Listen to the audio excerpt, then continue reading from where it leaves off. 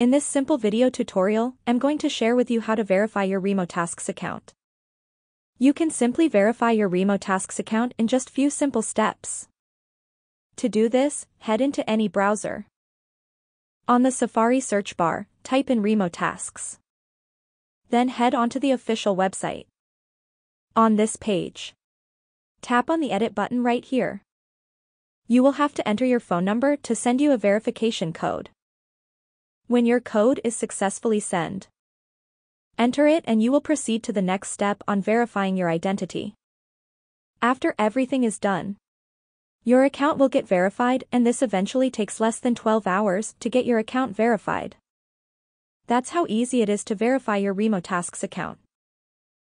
If you have any questions, just let me know in the comments section down below.